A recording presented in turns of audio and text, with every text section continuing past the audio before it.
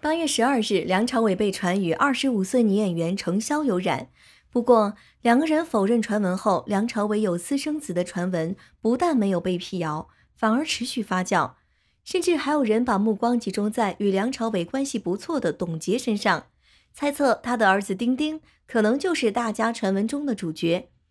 网友们看到这一幕，纷纷大呼：“董洁藏得太深了。”董洁于二零零三年加入梁朝伟旗下的香港泽东电影公司，两个人还合作过电影《二零四六》。此后，董洁与梁朝伟的关系备受关注。两个人从二零零七年起就一直有亲密传闻。此前有网友透露，梁朝伟入住豪华酒店时，董洁总是会晚十分钟到达，直奔梁朝伟的房间。每次董洁出现，他的包袱都很少。似乎就是为了试探梁朝伟而来，这引发了人们对两个人关系的广泛猜测。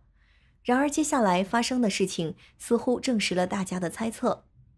二零零九年，梁朝伟在一家高档商场购买昂贵的珠宝，记者拍照发现钻石手镯上有一张卡片，上面写着“致我的爱”，外界一度猜测这是送给刘嘉玲的礼物。没想到，仅仅几天以后。董洁就高调地戴着那只手链，仿佛在表明她与梁朝伟的亲密关系。为了庆祝梁朝伟四十五岁生日，董洁特意取消了行程，从海外飞回，提前赶赴现场，准备生日庆祝活动。她精心准备的蛋糕和亲密的举动引人注目，仿佛她是宴会上唯一的女性所有者。虽然刘嘉玲也出席了这次活动。但他和董洁的对峙被多家媒体捕捉到，气氛显得尴尬。这一系列的质疑足以让外界认为董洁和梁朝伟之间的关系不一样。但奇怪的是，做了这些事之后，董洁很快就和演员潘粤明结婚了，梁朝伟也很快就和刘嘉玲结婚了。一方面，各方猜测董洁仓促结婚是为了掩盖梁朝伟的丑闻，但随着时间的推移，这些猜测渐渐消失在公众视野中。自私生子传闻被揭露以后，董洁经常出现在日本的住宅区。结合他之前和梁朝伟的绯闻，有消息称他和梁朝伟可能在日本有一个私生子，或者可能有一个长得很像梁朝伟的丁丁，梁朝伟的私生子。虽然后来梁朝伟否认了这一传闻，但他长期不肯辟谣的立场仍然让人怀疑。事实上，董洁和梁朝伟的关系已经名存实亡很多年了。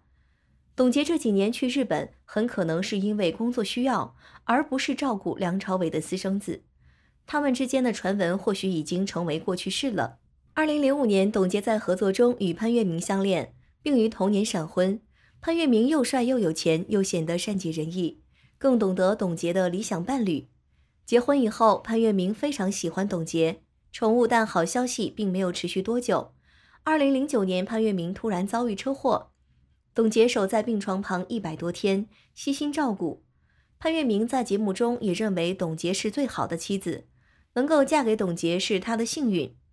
两个人此时是多么相爱，分手时又是多么的尴尬。二零一零年，董洁与王大治合作电视剧《请你原谅我》，不久后，两个人被拍到在酒店里热吻。王大治长相普通，曾被不少女明星拒绝向他表白。没想到他最终赢得了董洁的青睐。当董洁转发与潘粤明庆祝结婚纪念日的微博时，他却说明年就该养了，引发不少粉丝质疑两个人的婚姻。为了塑造自己的受害者形象，董洁声称潘粤明沉迷于赌博和家庭暴力，还附上了自己很多长相女性化的照片来宣传这一事件。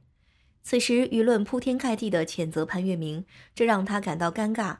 直到二零一三年，董洁和王大治的吻戏被曝光以后，大家才意识到是董洁先出轨，把脏水全倒到潘粤明身上。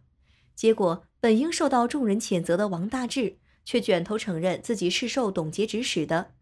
潘粤明说：“我一生都在赌这个家，但我赌输了。”两个人离婚后，董洁一直没有让潘粤明见到儿子。八年来，潘粤明只能在微博上远程祝儿子生日快乐。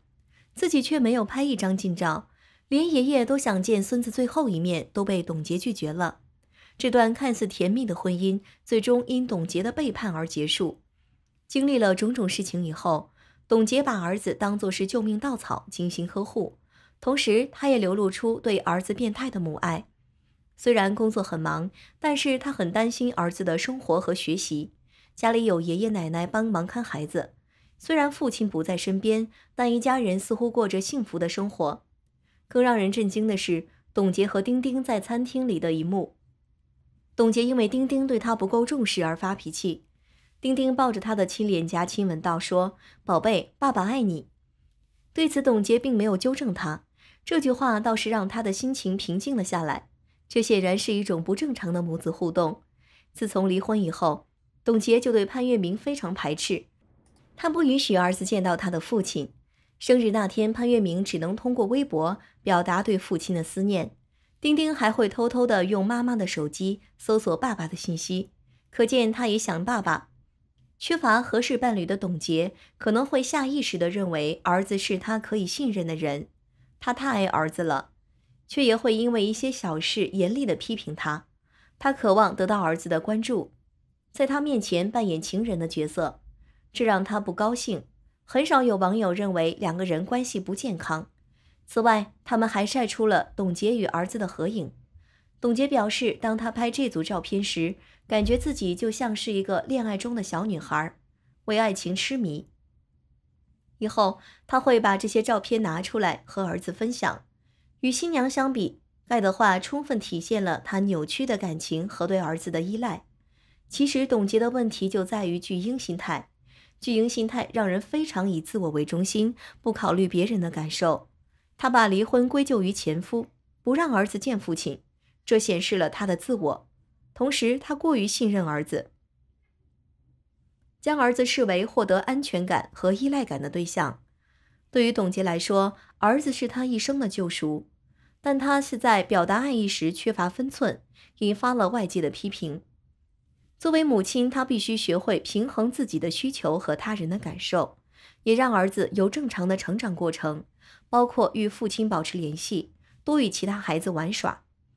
董洁和丁丁的母子关系受到广泛关注，不仅因为两个人经常出现在公众场合，还因为这与董洁婚姻的破裂密不可分。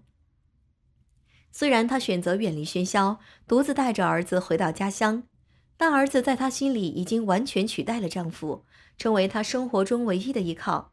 她把全部的爱和注意力都集中在这个孩子身上，却因为过度依赖而失去平衡。